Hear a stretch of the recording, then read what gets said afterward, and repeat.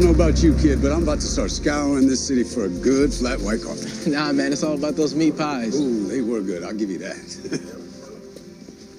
hey, D, wait, they were. Door's already unlocked. Get out, get out, right there, under the window, now. Don't move. This is LAPD. Identify yourself. This is Sergeant Daniel Harrelson. I am armed, and you are on my property.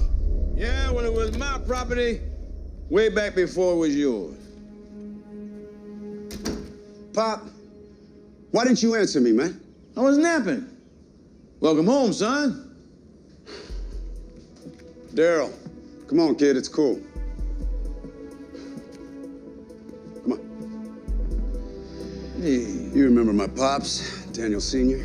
nice to see you again, sir. it's good to see you too. How was Australia? Oh, it was pretty great. It was like pressing a reset button, Pops. Coming home chill as a fridge. Good. Now talk to me. Why are you napping here? Now your sister, Brianna. Got this new man staying there all the time. Pawing and laughing like they invented romance. My sister's a grown woman, Pop. She's allowed to have a boyfriend at the house. That don't mean I need courtside seats. How long you been staying here? About three weeks. Hoping to stay a little bit longer. You know, just till I get my own place. Okay, you know what? That's a whole nother conversation, and we can have it when I get home. Of course.